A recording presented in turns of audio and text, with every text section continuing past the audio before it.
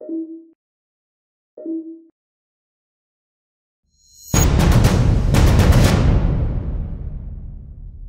coup, bonsoir tout le monde. Je suis ravi d'encore cliquer sur des boutons pour admettre des personnes, euh, puisqu'il y a pas mal de monde, une quarantaine pour l'instant. Euh, on avait décidé avec Cyril, pour conclure le mois biomécanique euh, sur le site Mon Espace Enseignant Tennis, de réunir les personnes qui étaient membres de la communauté des enseignants, plus des personnes qui ont pu suivre le contenu de formation de Cyril sur cette plateforme, et de pouvoir échanger ensemble, voire approfondir des domaines ou des thèmes euh, que Cyril euh, nous a partagé ensemble. Donc, comment on va faire? On va faire trois parties. On va faire une première partie où c'est qu'on va faire un retour sur les vidéos, les interviews qu'on a tournées ensemble sur le site, qui sont évidemment liées à la partie euh, formation. Après, on fera un retour vraiment focus sur les formations que Cyril propose en ligne. Et après, on fera un retour d'expérience, plus des témoignages de certains coachs avec les outils et les, les, conseils que Cyril a pu leur prodiguer. Voilà.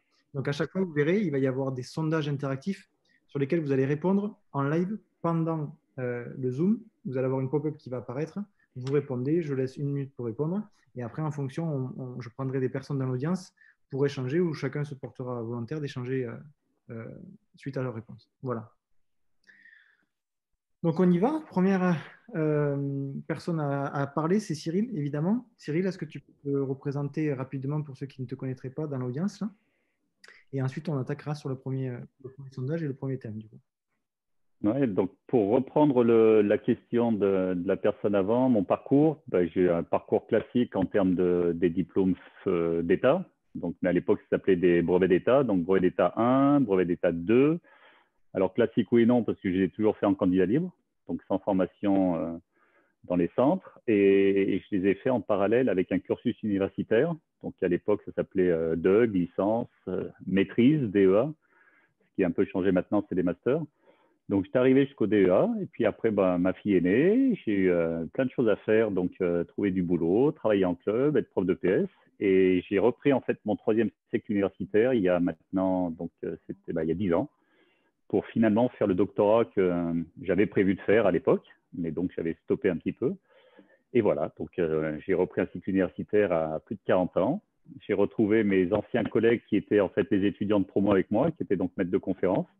Et sur le laboratoire de Lyon, ben, ça, a permis de mettre une spécificité tennis, puisqu'on travaillait déjà sur le tennis au sein du laboratoire, plus sur le, les préventions de blessures. Donc je me suis inscrit dans cette thématique avec un travail sur le coup droit. Donc voilà mon parcours. Donc coach en club, euh, spécialisé plutôt dans la formation des jeunes, euh, donc entraîné, détection, entraînement à la ligue, et après, ben, certains sont partis sur les, les, programmes nationaux. Et voilà, beaucoup de travail sur les, plutôt sur l'entraînement et la formation. Et maintenant, beaucoup plus de formation de cadre en France, mais surtout à l'étranger avec l'ITF. Donc, pendant ma thèse, j'avais demandé à Miguel Crespo, qui est responsable de la recherche au sein de l'ITF, qui est le responsable aussi des formations, d'y assister. Et après, ben, on est resté en contact. Et donc, il m'a permis de rentrer dans le, dans le cursus un petit peu des experts ITF. Donc, je fais des formations certifiantes, mais aussi beaucoup de séminaires pour les fédérations.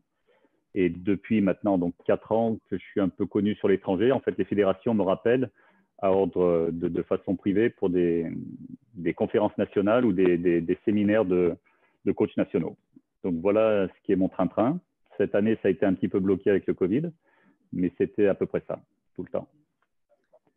comme on l'a dit tout à l'heure, les personnes qui ont des questions euh, autres que sur le thème de la biomécanique, évidemment, on ne va pas les zapper, mais on les passera à la fin euh, dans les questions diverses, on va dire. un échange de questions-réponses divers. on, va on, reste focus biomécanique euh, pour ce live-là, parce que je pense qu'on pourrait passer des heures avec tous les passionnés, qu'il y a aujourd'hui. Donc, je vais lancer le premier sondage. OK. Donc, normalement, là, vous avez vu apparaître quelque chose que vous savez sur le téléphone ou sur l'ordi. Je vous laisse voter.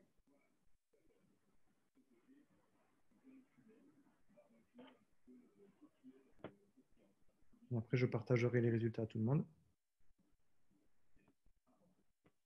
Et on donnera la parole à certains d'entre vous pour qu'ils puissent euh, poser des questions euh, en rapport avec ce qu'ils ont pu voir, approfondir des choses. Cyril euh, se fera un plaisir de répondre. Il reste six personnes à répondre.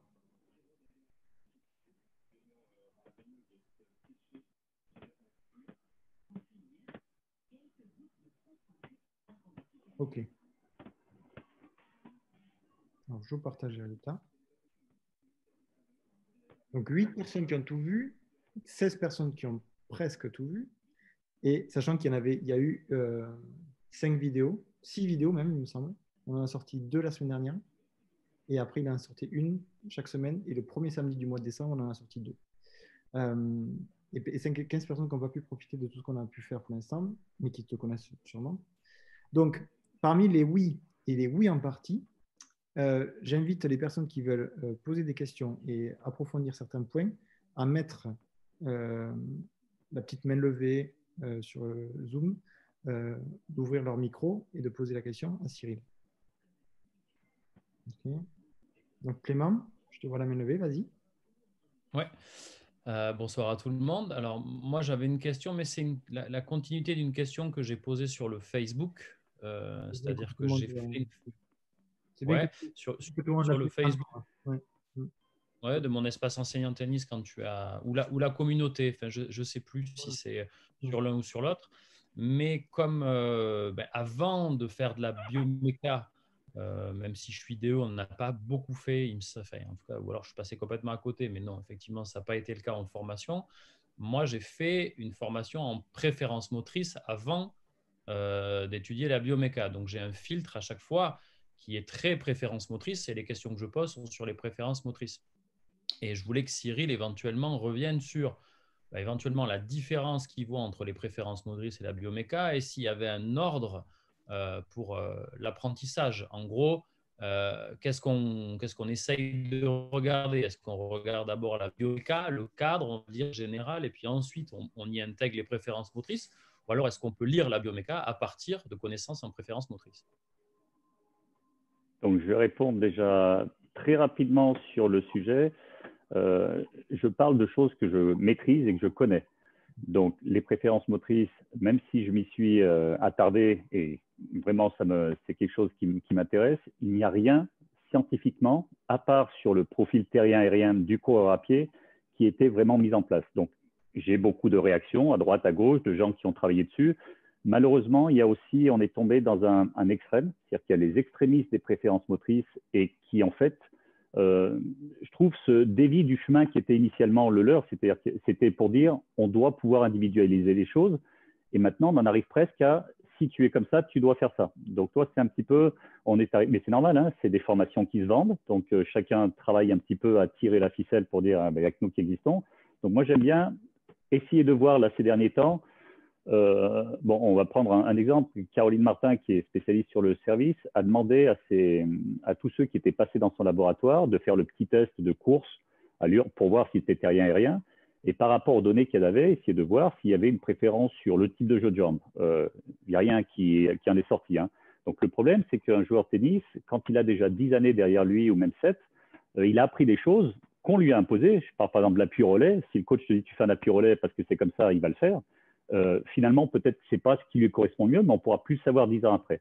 Donc, tant qu'il n'y aura pas, euh, à un moment donné, de se dire, voilà, est-ce que les préférences motrices, on sait qu'elles sont, il y a les réflexes archaïques qui se mettent dessus, parce que maintenant, les réflexes archaïques disent, bah, c'est nous avant les préférences motrices. Euh, préférences motrices, comment les intégrer Donc, je pense qu'on est dans une nouvelle ère où on va essayer de voir des choses différemment, mais je pense qu'on en est toujours au même. Les principes biomécaniques, ce sont des principes de fonctionnement. Après, on, va parler, par exemple, de, j'étais au Portugal sur des gens qui vont, un tième par exemple, qui a l'air d'être plutôt terrien, qui va rester très longtemps en position basse sur par exemple un appui ouvert, qui va prendre le temps d'être bas et ensuite de pousser. Si on regarde quelqu'un d'autre, ou un Federer, ou même un Nadal, qui serait rien, le temps de contact en fait d'ancrage est très, la flexion n'est pas la même. C'est-à-dire qu'ils vont arriver très tôt pour déclencher. Donc le principe est le même. Générer des forces à partir du sol, c'est un principe biomécanique, mais ils vont les générer de façon différente. Euh, il y en a qui vont utiliser plus une force dans le squat jump, d'autres qui ont besoin du contre-movement jump. Mais même dans le contre-movement jump, il y a des façons de descendre si elles sont euh, brutales. C'est-à-dire si je demande à un aérien de dire tu vas me faire un contre-movement jump, tu dois descendre à 90 et ensuite pousser, on va le contraindre à faire quelque chose qui n'est pas naturel. Si par contre on dit voilà, bah, tu descends, tu montes comme tu veux, là on aura quelque chose. Donc c'est là-dedans que ma, sensibilité va commencer à arriver. C'est-à-dire voir un joueur, si spontanément je sens que c'est plutôt aérien, ma préférence sera peut-être d'aller déclencher le timing sur quand est-ce que je pose le pied par rapport à l'impact. Donc ça sera rapproché dans le temps. Si c'est un gars qui est plus terrien, ça ne veut pas dire que je ne vais pas l'obliger à faire ça. Il va le faire. Mais peut-être que lui, je tolérerais davantage d'être un peu plus ancré plus tôt, d'attendre un peu la balle pour frapper. Donc voilà, c'est peut-être sur ces choses-là qu'on peut peut-être avoir un œil différent. Mais le tennis, c'est que de la variabilité. Donc à un moment donné, même si je suis terrien, que je dois aller prendre la balle tôt pour monter au filet, je dois savoir le faire. Ça, ça va poser certainement une motricité différente. Donc je ne voudrais pas qu'un enfant qui commence le tennis, sous prétexte qu'il soit aérien ou terrien, soit enfermé dans des stéréotypes. En tout, voilà. Donc on ouvre à tout le monde. Mais par contre, l'œil du coach, il va être là pour dire, bah voilà, là, je lui ai demandé ça, je sais pas, je le sens pas vraiment à l'aise, ou le ressenti de l'élève ou du joueur va dire, bah ouais, moi, je préfère ça c'est peut-être se poser la question, si lui, il préfère ça, ben, peut-être que, oui, là, c'est marrant, tiens, il a une préférence plutôt aérienne, terrienne, et il ressent des choses, ben, peut-être qu'en tenir compte. Tu vois, c'est plutôt mon raisonnement, je crois qu'on en a déjà parlé sur, sur Facebook, c'est plutôt par rapport à ça, plutôt que mmh. d'être euh, vraiment bloqué là-dessus. Mmh. Mais c'est obligatoirement une voie qu'il va falloir prendre en compte. Comment est-ce que scientifiquement on va pouvoir prouver certaines choses? Ça, c'est encore difficile. Parce que si tu regardes, même des fois dans une, dans une même salle, euh, ils ont mis des gens qui essayaient de faire les mêmes tests, associés, dissociés. Il n'y a même pas de reproductibilité. D'un jour sur l'autre, des fois, ce n'est pas la même chose. Donc, il faut voilà, être capable de trouver des gens qui soient sûrs, qui sachent maîtriser, faire des expériences sur des personnes différentes avec des groupes contrôle. Je pense que là, on n'est pas sorti de l'auberge. Mmh. Mais c'est une approche qui est importante. C'est une approche qui est importante pour relever les, aux personnes qui ne sont pas initiées aux, préférences motrices, on a fait, euh, je pense que c'était au mois de mars ou avril, à voir. Euh, j'ai mis dans le chat euh, un lien vers le site avec une interview autour des préférences motrices, pareil, en plusieurs vidéos sur lesquelles vous découvrez tous ces, cette approche des préférences motrices avec deux experts, en tout cas deux personnes qui les pratiquent. Et, et donc Clément qui relève, qui relève ça, je pense que pareil, c'est très intéressant de pouvoir échanger avec Cyril sur les, comparaison possible ou pas, mais comme il le dit Cyril, c'est en tenir compte.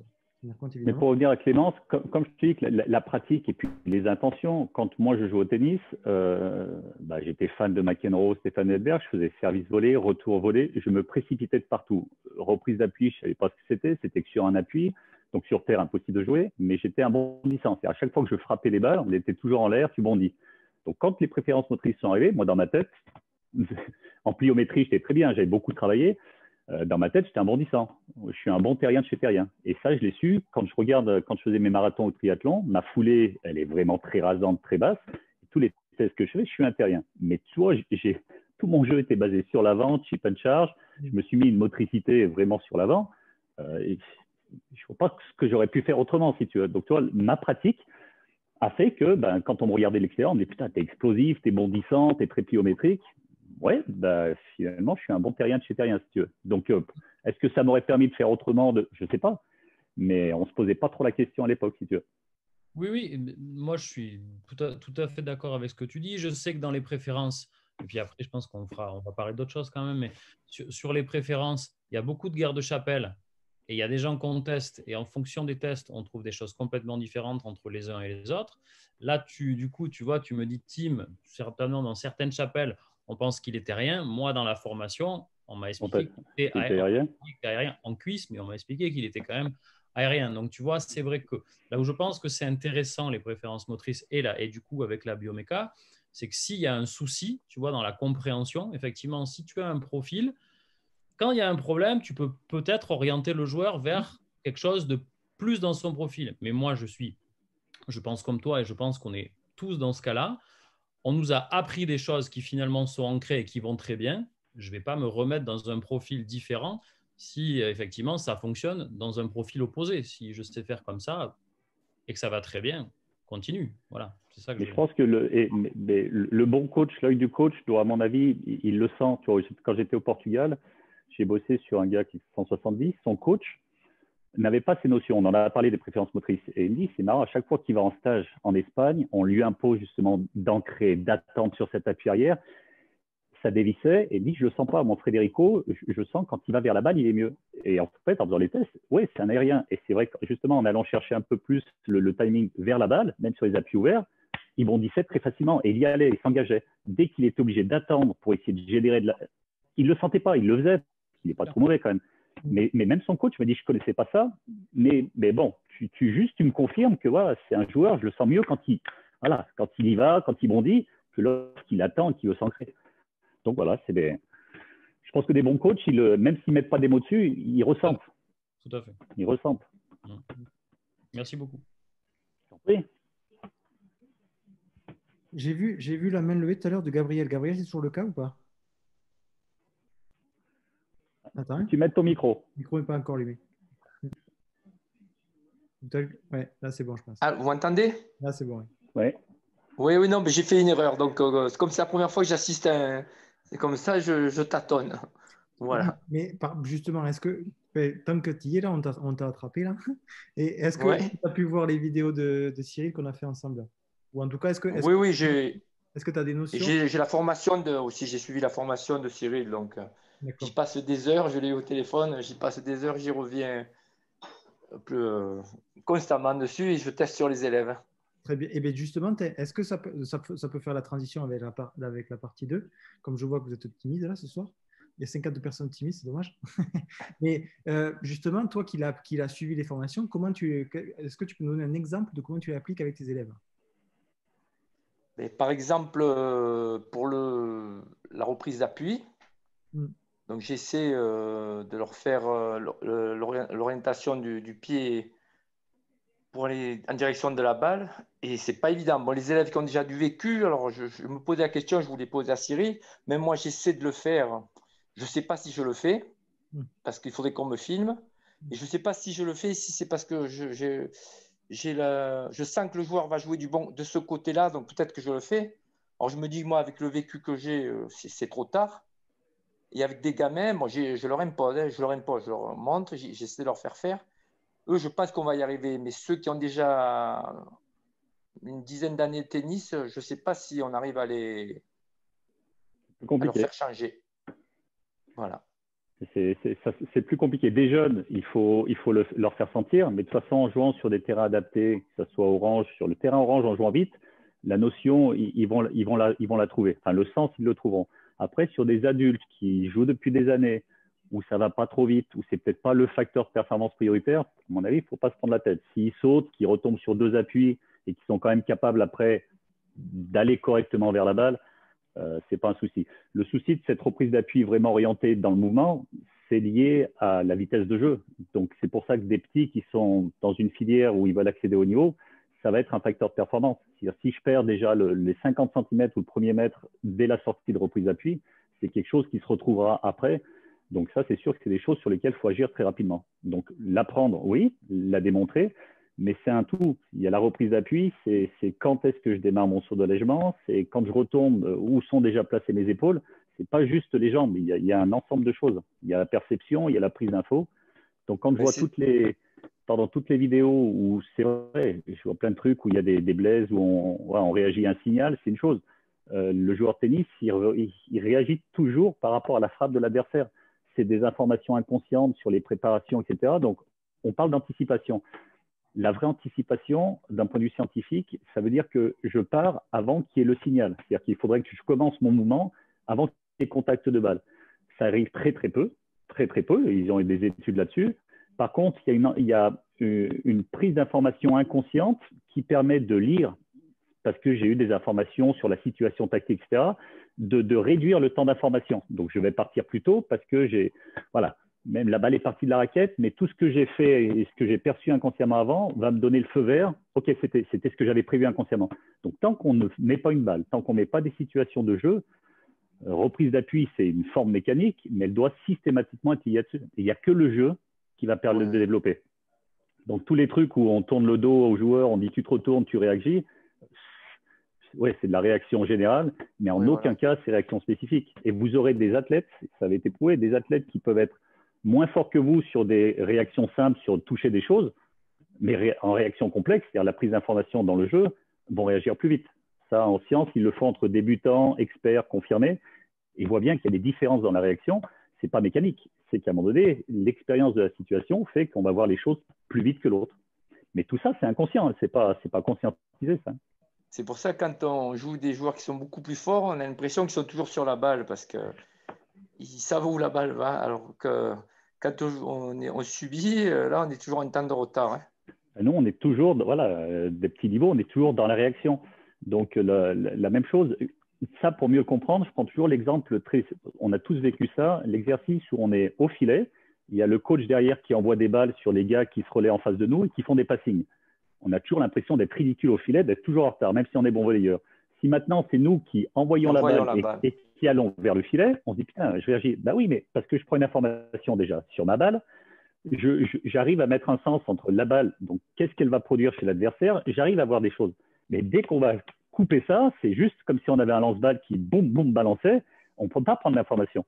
Donc c'est en ça que c'est vraiment très précis au niveau du tennis. On ne peut pas enlever la prise d'information du jeu. Euh, sur le très haut niveau, là où je me suis fait aussi euh, des remarques, la fameuse bisectrice qu'on apprend aux enfants, qui est normale. À très très haut niveau, elle n'existe plus, cette bisectrice. C'est-à-dire que le joueur sait, avec le coup qu'il a fait, là où il l'a mis, la difficulté qu'il impose à l'adversaire, on voit Nadal, il ne va pas se replacer sur la bisectrice. Des fois, il laisse complètement son terrain ouvert, mais c'est conscient. C'est-à-dire qu'il sait que la balle qu'il a fournie à l'adversaire, si l'autre tente de la mettre de l'autre côté, il va prendre un risque monumental et de toute façon, s'il doit le faire, il est prêt. Donc, il préfère rester là-dessus. Donc, c'est pour ça, quand on regarde le très très haut niveau, c'est incroyable. C'est leur frappe à eux-mêmes qui décident de l'endroit où ils vont se replacer. Ils savent à l'avance ce que ça va donner chez l'autre et ils ont déjà un temps d'avance. On en est loin hein. quand on est sur des débutants. C'est non, tu vas jouer croisé, tu te replaces bisectrice, au moins on est sûr. Sur le haut niveau, ça existe pratiquement plus ça. Donc il y a des entraîneurs de haut niveau qui, qui nous regardent là, donc ils pourront témoigner de ça ou pas. Mais c'est vraiment, on est, c'est un autre monde. C'est un autre monde. C'est ce qui se passe quand on joue contre un joueur qui est beaucoup plus fort. Et euh, suivant la balle qu'on envoie, d'habitude, on dit bon, je l'ai envoyée là de telle manière, elle va revenir là à 99%. Et quand c'est un joueur qui est très fort, euh, elle peut revenir de l'autre côté. Exactement. Et les joueurs préagissent. Les très bons joueurs, ils arrivent à préagir au lieu de réagir. Ça, et puis c'est le, contexte. Quand on voit des matchs de personnes qui se sont joués plusieurs fois, plusieurs fois, plusieurs fois, euh, ça nous est arrivé. On se dit, cette même personne-là, on rejoue le même match, même match, on sait à l'avance. Donc c'est compliqué parce que l'autre, c'est exactement ce que tu fais dans tel type de situation. Donc c'est assez compliqué. Après, la même façon, quand on parle de, de l'inconscient, mais des prises d'informations, euh, on a tous eu cette expérience. On retourne beaucoup mieux le service dans un troisième set que dans un premier set sur un joueur qu'on n'a jamais joué. Euh, bon, après, on va dire aussi, il y a les balles Mais la prise d'information, elle se fait tout au long d'un match déjà. Donc, dans un troisième set, bah, on a pris des informations tout au long du match qui sont inconscientes hein, et qui fait que bah, va être un peu plus près. On va, voilà. Donc, ça, c'est vraiment important de le dire. C'est Moi, si vous avez un objectif, c'est répondre rapidement. Et ben, si on ne me met pas en face quelqu'un qui joue au tennis, je vous dirais, oui, ça peut marcher, mais ce n'est pas spécifique au tennis, ce n'est pas possible. Ça me fait penser, parce que moi qui viens du football, euh, Autrefois, dans les années 80, euh, dans ma formation de prof de sport, j'étais option foot, foot et notre prof nous disait que dans les matchs de, Coupe d'Europe, par rapport au championnat de France, il y avait beaucoup des scores très fleuves en championnat parce que les équipes ne se connaissaient pas, alors qu'en championnat de France, ça se connaissait. Bon, maintenant, ça se fait moins parce qu'il y a la vidéo, ils, observent, ils mettent des observateurs. Mais autrefois, en, en Ligue des Champions, dans l'ancienne Coupe d'Europe, euh, il y avait beaucoup de scores fleuves parce qu'on ne connaissait pas les schémas de jeu, les habitudes des autres équipes. Et au tennis, c'est pareil. Quand on connaît un, gars, même s'il est beaucoup plus fort, on arrive à l'accrocher si on joue toutes les semaines. Parce qu'on connaît un peu les réponses. Oui, ça, c'est la côté prise d'information. Alors, sur le très haut niveau, c'est ce qui explique aussi que voilà, on, a des fulgurances. Un, jeune va arriver, ou quelqu'un va progresser en un an, il va arriver sur le. Et puis après, la deuxième année, c'est plus compliqué parce qu'il est connu. Euh, les coachs vont commencer à regarder des vidéos, parce qu'avant, on s'en occupait pas, mais on va commencer à regarder des vidéos. Euh, il y avait aussi, je me souviens, Nadal, un jour, on lui a dit, bah, voilà, vous jouez à un qualifié, qu'est-ce que vous en pensez? On ne le connaît pas, donc on va essayer d'aller chercher des vidéos pour essayer de voir un petit peu ça. Donc c'est le problème, c'est qu'à un moment donné, voilà, ils se connaissent tous, et bah, il faut aller chercher la petite chose qui fera la différence. Mais donc, euh, pour en venir à ta reprise d'appui, faut, faut pas se prendre la tête quand, euh, à mon avis, quand on est trop vieux et qu'on a. Mais par contre, il y a certainement des choses pour sortir de la reprise d'appui correctement qui peuvent être mises en place. Même si ce n'est pas la vraie dissociée, on peut certainement faire des choses. On passe à la question d'Anthony. Merci Gabriel pour euh, ton intervention. Anthony, tu avais la main levée. Oui, bonjour à tous. Euh, on, a parlé de, déplacement et euh, d'être à l'heure sur la balle, tout ça, donc ça me fait penser à quelque chose euh, en termes d'amplitude de, préparation. je sais bien que la technique, elle est, du coup, elle est individuelle et que chacun l'adapte. moi, j'ai une question par rapport à ça, dans le sens où je m'occupe d'un jeune 2008 qui est presque seconde série. Euh, et, en fait, en rassemblement de ligue, alors c'est vrai que lui, sa, technique, en termes de coup droit, il a une amplitude assez grande. Euh, et tout de suite, on m'a dit, oula, mais trop grande amplitude, il faut la réduire. Euh, alors voilà, moi, cette question, bah, c'était par rapport à ça, à partir du moment où, le jeune est capable d'être à l'heure et de frapper la balle devant lui, et voilà, par rapport au principe biomécanique, est-ce que c'est forcément enfin, ça, pertinent d'aller chercher des réductions d'amplitude euh, si, si euh, il est à l'heure et que ça ne le gêne pas? Est-ce qu'il ne faut pas plutôt agir sur le rythme plutôt que sur la forme? Enfin voilà, je voulais avoir un, avis euh, extérieur. Bah, c'est tu réponds. Mon avis, tu le connais. Pas, oui. tu, tu, viens, tu, viens exactement de le dire. Bon, il y a des tests si euh, le, gars a une grande amplitude, mais que si on le met dans une situation avec un volleyeur qui volleye très vite sur lui, et que là-dessus, il est capable systématiquement de taper au bon endroit, de faire ce qu'il veut de sa raquette, donc il est capable d'organiser son amplitude par rapport à ça, il n'y a aucun souci. Je pense qu'un Del Potro, on ne peut pas dire qu'il a une petite amplitude. Donc c'est un ah, gars qui a réussi à organiser. Mais c'est pour ça, il faut arrêter de dire c'est ça. Moi, la grande amplitude, c'est on regarde, ah bah oui, mince, là-dessus, dès qu'on joue vite, il est mal, il est mal. Ok, bah là, c'est certainement une, conséquence de la grande amplitude. Mais si son amplitude, il l'adapte, il va plus vite, il prépare plus tôt, il fait des choses et que ça lui permet d'avoir exactement la même chose, je ne vois pas où est le problème. Hein. Ouais, non, mais bon, je, voilà, c'est ce qui me. Enfin, c'était mon ressenti, mais, euh, mais, mais, voilà, c'est vrai que c'était un peu. Euh, on a tout de suite dit, mais c'est pour la suite, ça va pas aller. Alors, je ne suis pas forcément de cet avis. Hein. Medvedev, aujourd'hui, euh, il a des grandes amplitudes et il est capable d'être à l'heure bien sûr, mais et après, on, va parler d'amplitude, mais une amplitude, donc c'est une sorte de forme, mais à, mm. quelle allure va se faire cette forme euh, Si la balle vient vite et qu'il la fait plus vite, qu'il a... lui, il a peut-être besoin de ce chemin de lancement-là, parce qu'il n'a peut-être pas aussi de motricité. Voilà, s'il n'a pas une motricité qui lui permet d'être très vite sur les hanches et le tronc pour balancer la raquette, bah, il aura certainement besoin d'une motricité qui lui amène avec le bras. Donc c'est c'est en ça où la biomécanique, voilà, c'est des principes. Donc, si sa balle, il arrive avec le maximum d'énergie au moment de l'impact, lui en ayant préparé avec une grande préparation et qu'il fait la même chose que quelqu'un qui a une petite qui va aller plus vite sur le tronc, il n'y a, pas de problème. très bien, merci. Parfait. Merci Anthony pour ta question. Et, euh, pas de souci. J'ai Brice dans le chat. C'est un, un, Lyonnais, Anthony. Hein on est Forza. Ah. Lyon en force. Et je sais que j'ai vu un autre lyonnais, Cédric, dans le, dans le, dans le, groupe là. Donc il y a Brice de Guadeloupe, donc un peu de soleil là au milieu de la, froid là, de chez nous. Euh, quelle ah question pour toi Oui, bonjour. Euh, je voudrais poser la question par rapport euh, à la bisectrice. À partir de quel niveau alors on n'insiste plus le, le fait de se replacer sur la ah. bisectrice? Alors, je, vais reformuler euh, ce que j'ai dit. Je n'ai pas dit que ce n'était pas important. Hein. Je l'ai dit qu'à très haut niveau, on s'aperçoit que la bisectrice, elle, est plus utilisée comme nous, on l'entend. C'est-à-dire que je suis en défense, il va falloir que je joue croisé long parce que ça me permet de replacer diagonale.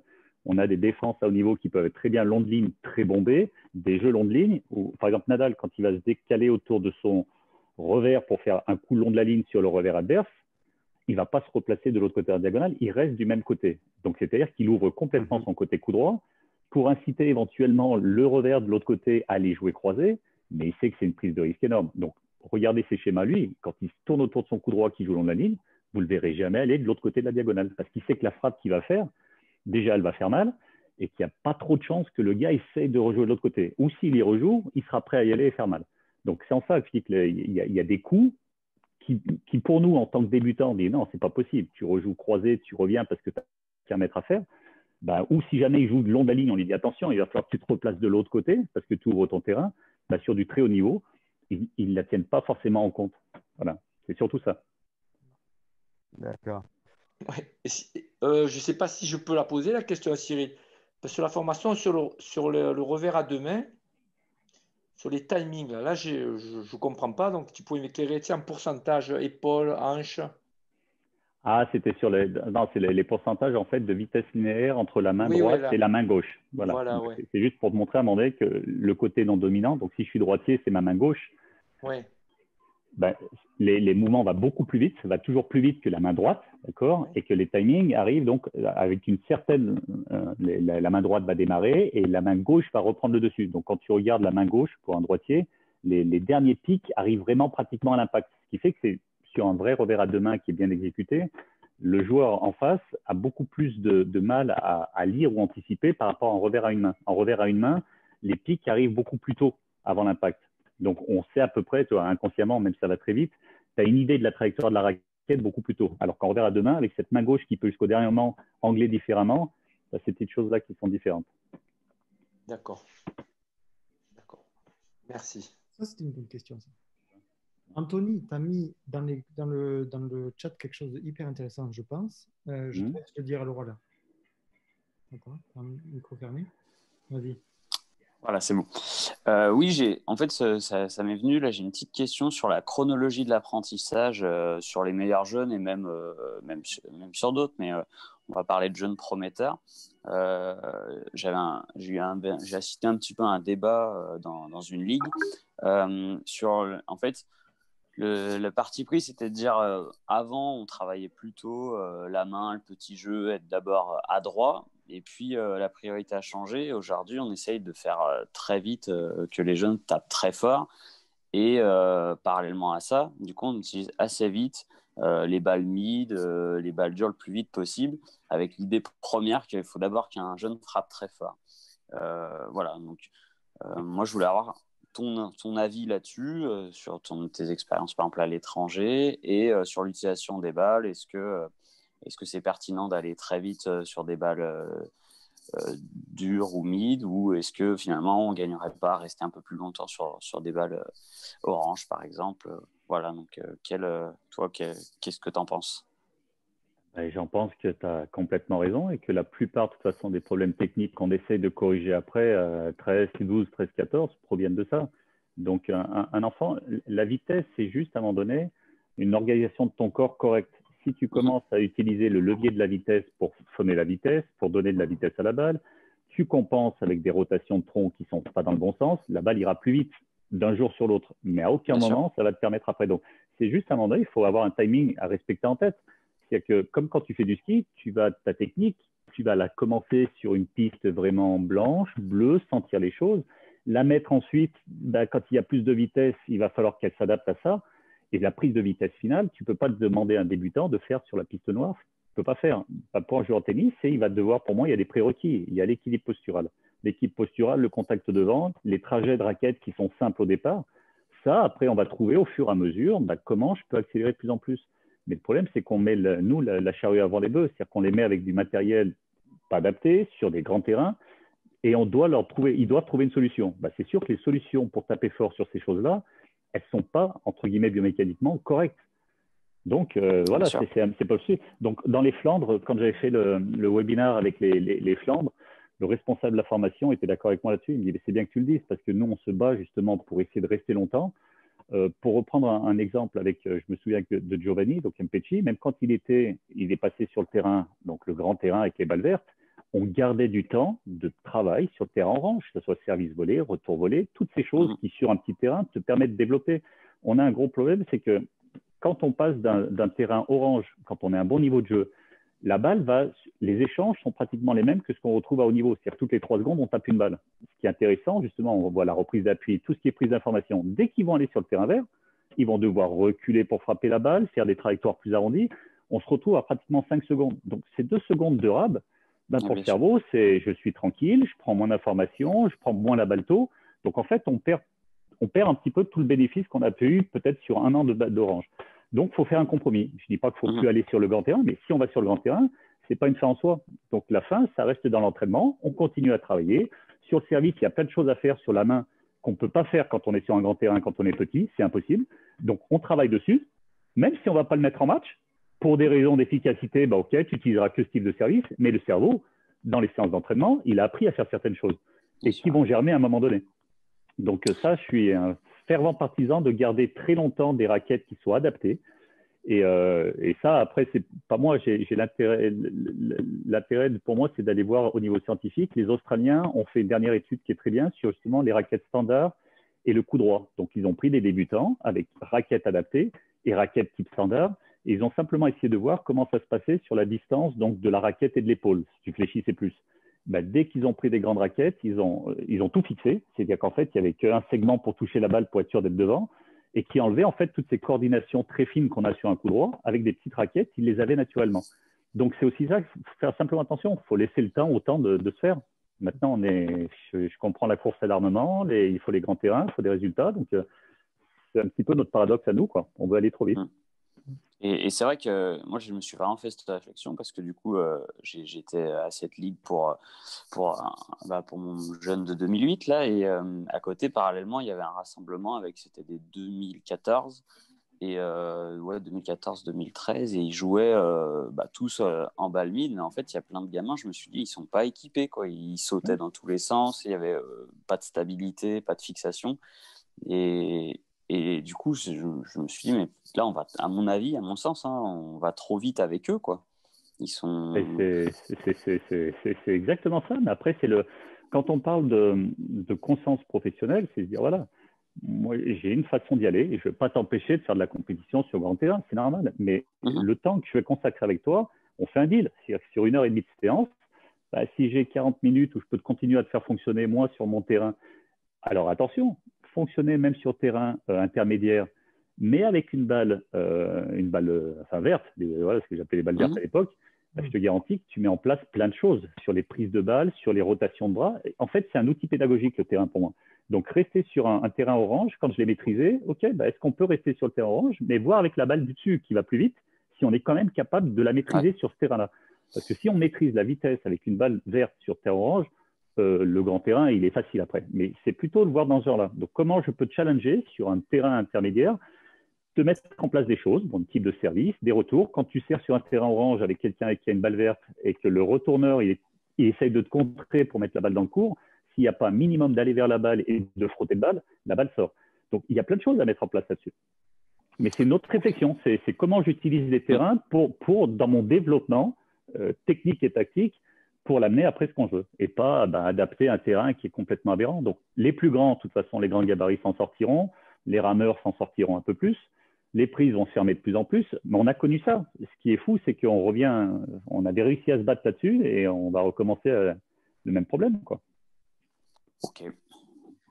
Merci. Merci Anthony. Très bien. Euh, Thierry, j'ai vu Thierry euh, qui avait une question par rapport à, à... Oui, bonjour Cyril, bonjour tout le monde. Je voulais savoir si tu établissais une relation entre la grande préparation dont tu as parlé tout à l'heure, enfin on a parlé tout à l'heure, et euh, l'épaule directrice. Par exemple, moi, c'est toujours, si on me demande de tourner d'un côté, je vais toujours amener mon épaule gauche, voilà, voilà comme ça. Donc, est-ce que tu établis une relation entre ça et le fait d'avoir une plus grande préparation de ce côté-là que côté revers, vu que je suis droitier? Je voulais savoir ce que tu en pensais.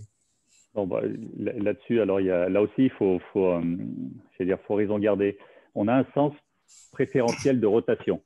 Donc euh, oui, on fait le test, hein. on, se retourne très vite, plus facilement à droite, à gauche. Mm. Donc là-dessus, on peut l'interpréter de deux façons. Euh, si moi je, me, je vais plus vite, ou toi, si tu vas plus vite sur le côté, euh, tu dis que tu tournes plus vite côté droit.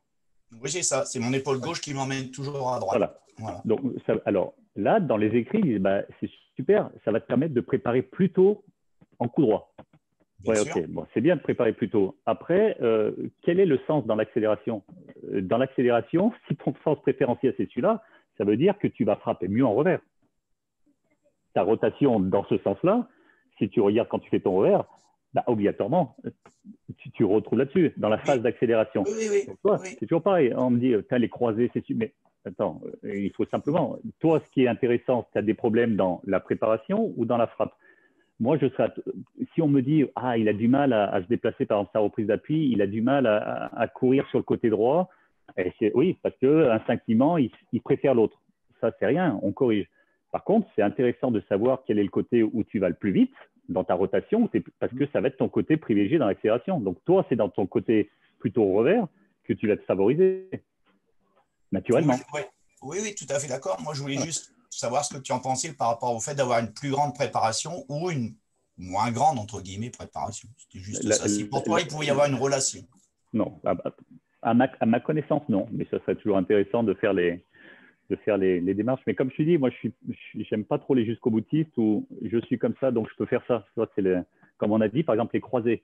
Euh, les croisés main-œil, super, ils peuvent avoir plus d'amplitude et se tourner. Euh, oui, mais ceux qu'on voit, ils n'utilisent pas forcément plus d'amplitude, parce que c'est bien de l'amener, mais si mm. pour avoir plus d'amplitude, tu n'es pas capable de l'amener au bon point de contact, ça ne sert pas à grand-chose. Donc voilà, moi je, je, suis plus là-dessus sur les hétérogènes, sur dire voilà, ton port de tête, comment ça va t'aider à fixer ton regard avec des balles plus ou moins devant toi, mais j'en suis pas à dire bah, c'est super, comme tu es croisé, tu vas avoir plus d'amplitude. Non, tu t'adaptes à ça, c'est pas un problème. Je, suis d'accord, on s'adapte euh, aux joueurs. Exactement. Donc, je suis désolé de ne pas pouvoir te répondre aussi affirmativement à ta. Mais je... Non, non, c'était juste si tu pensais qu'il pouvait y avoir une corrélation, mais voilà, peut-être qu'il y a une corrélation, peut-être qu'il n'y en a pas. Euh, voilà, c'était juste dans ce sens-là. Merci. Bonne question. Merci Thierry pour la question, pour, pour faire continuer à, nourrir. Euh, Jean-Charles avait une question? Il disait taille. Ah, Bonsoir.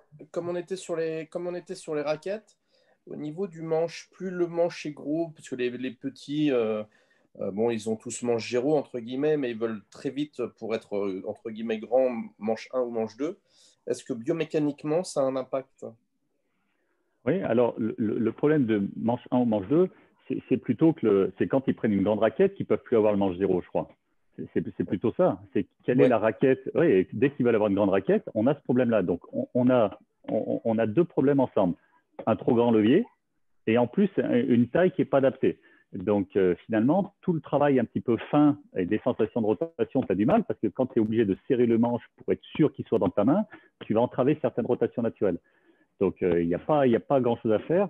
J'avais discuté avec un, justement un responsable des marques et euh, dès que tu vas arriver, en plus, il y a une autre problématique, c'est que les, préventions de la blessure, quand vous prenez les, raquettes, les, premières raquettes adultes, entre guillemets, les plus légères, elles sont souvent équilibrées en tête. Donc, il faut savoir quand même qu'une raquette qui est équilibrée en tête, l'inertie au niveau de l'épaule, quand vous êtes sur la geste du service où la raquette va en bas, c'est plus traumatisant qu'une raquette plus lourde mais équilibrée. Donc ça aussi, ça a été démontré. Donc il faut juste faire attention. Des fois, ce n'est pas forcément bon d'aller chercher la plus, grande raquette très rapidement. Peut-être que, euh, j'avais une, collègue qui m'avait dit ça, c'est peut-être bien rester avec une raquette junior et l'alourdir, mettre plus de masse sur une raquette junior pour qu'elle reste balancée. On obtiendra plus de puissance à l'impact puisqu'elle sera plus lourde, mais peut-être que c'est un compromis avant d'essayer d'aller tout de suite vers le grand levier. Donc, je pense qu'il y a des choses à aller rechercher là-dessus. Garder cette raquette junior, l'alourdir de façon équilibrée pour qu'elle garde la même balance, mais bah, il y aura plus de rendement à l'impact. Plutôt. Mais, euh, au, niveau, au, niveau, raquette, euh, la balance, on arrive à en trouver une ou deux. C'est vrai que c'est un peu moins, mais on arrive à en trouver. Par contre, de temps en temps, on n'arrive pas à trouver, comme tu dis, un manche zéro en raquette adulte. Et suivant les marques, de temps en temps, leur manche zéro est déjà un manche 1 ou deux euh, dans d'autres. Et, et, ça, obligatoirement, bah, ça va. Alors, on va voir, il y, a, toujours un avantage inconvénient. Moi, je dirais, bah, pour ceux justement qui utilisent les grands leviers en travaillant que avec la main et donc sans utiliser le bras, le fait d'avoir un manche plus important, ça va être obligé de bloquer un peu plus, de verrouiller un peu plus le poignet et donc peut-être d'aller chercher un peu plus de travail sur l'épaule, avec une unité un petit peu plus bloquée. Alors, on va dire que ça, c'est le bon côté des choses. Mais bon, j'y crois pas beaucoup. Quand on a commencé à prendre des grands leviers alors qu'on les maîtrise pas, la plupart du temps, c'est la raquette en fait qui entraîne le mouvement je sais pas si je me comprends, quand la raquette va sur l'avant, on a du mal à la garder dans sa trajectoire, elle revient très vite sur la gauche parce qu'en fait, il y a trop de levier. Quoi. Et ça, je pense qu'il faut vraiment prendre du temps avec des raquettes juniors. Je vous dis, il y a, d'autres moyens pour, pour aller gagner en puissance. Parce que pour les parents et les jeunes, c'est bah oui, mais je veux taper plus fort, ma balle, je veux qu'elle aille plus vite, donc je prends une plus grande raquette. Oui, ben, peut-être qu'en lui prouvant qu'avec une raquette junior qui maîtrise bien, en mettant un peu plus de plomb, donc l'alourdissant, bah, finalement, ce qu'il fait, il continuera bien travailler techniquement et sa balle ira aussi vite qu'avec son grand levier, plus léger ça sera peut-être un compromis dans le. Je pense qu'il y a des études à faire là-dessus.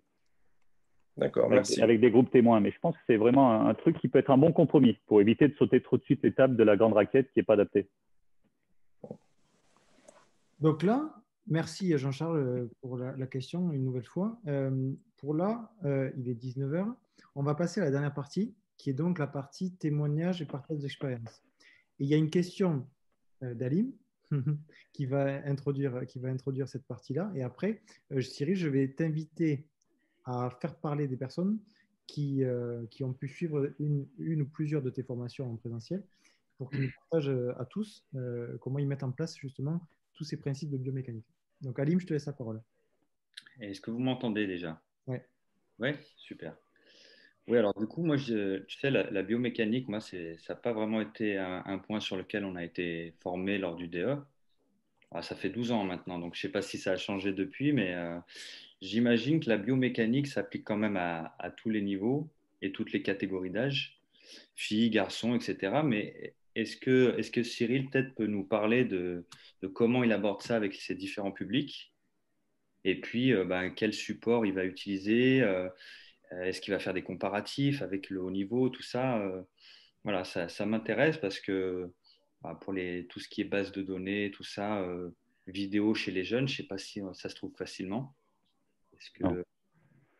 non. donc ça, c'est un, grand débat qu'on a aussi avec un ami, un, croate, qui, qui est bien là-dessus aussi, c'est de dire, voilà, comment en fait le coût va évoluer au fur et à mesure dans le temps. Donc, on a l'aspect chronologique, l'âge, on a les niveaux, on peut comparer Auré, Tarbes, et on voit que la Je prends Fruvitova, la Tchèque, qui a gagné Auré à 11 ans, qui a gagné Tarbes cette année, l'année d'avant, dans cette année à 13 ans, qui a battu une 80. Donc, la fille, on la voit évoluer. On voit son tennis à Auré, on voit à Tarbes, on voit qu'il y a des choses qui sont similaires hein, dans la forme. Mais par contre, la vitesse n'est plus la même, les rotations sont plus pleines, l'utilisation des jambes n'est plus la même. Donc, en fait, le principe, c'est on, en reste toujours même. Il y a des principes biomécaniques. Le plus important, ça va être l'équilibre sur le petit, l'équilibre.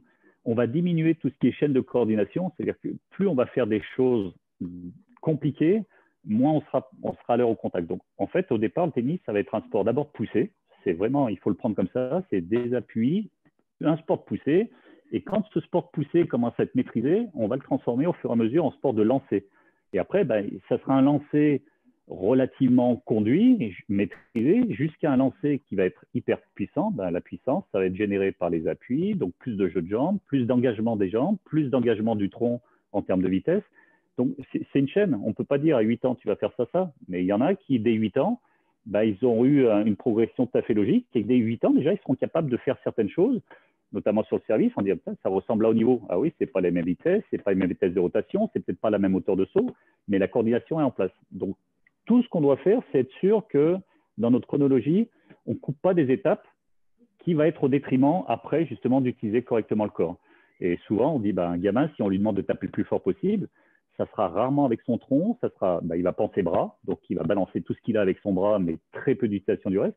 Donc je crois que là, encore une fois, il faut juste passer d'un sport de ce qu'on était avant, hein, un sport de précision. Si on regarde en fait nos ancêtres avec les, les raquettes en bois, c'est on passait de la précision et petit à petit, on est allé vers la puissance. Ben, dans le développement chronologique, c'est la même chose. On va devoir être précis, contrôler ce qu'on fait.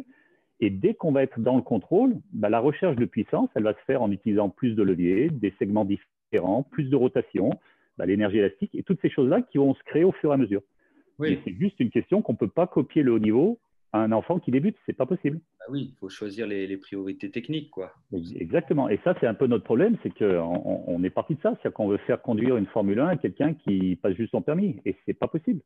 Donc, par contre, euh, ceux qui vont passer le permis, il y en a qui vont conduire toute leur vie une petite, euh, voilà, quatre cylindrées, quatre chevaux, pépère, tranquille, et qui seront heureux avec ça.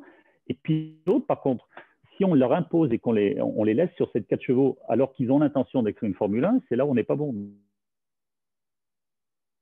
Donc, c'est juste de dire, voilà, quels sont les objectifs pour. Voilà. Ils ont commencé ensemble, ces enfants. Bah, il y en a un, on sait qu'on va garder plutôt très longtemps club. Euh, on appelle ça joueur loisir, compétitif, quatrième série. OK. L'autre, par contre, qui a quelque chose, peut-être qu'on va commencer les étapes à faire les étapes un peu plus vite. Dès qu'il en a maîtrisé une, on va lui proposer ainsi de suite, ainsi de suite. C'est-à-dire qu'on on va y aller un petit peu plus vite avec lui mais toujours en respectant des étapes. Merci. Je t'en prie. Super. Jean-Charles, tu as relevé la main? Oui.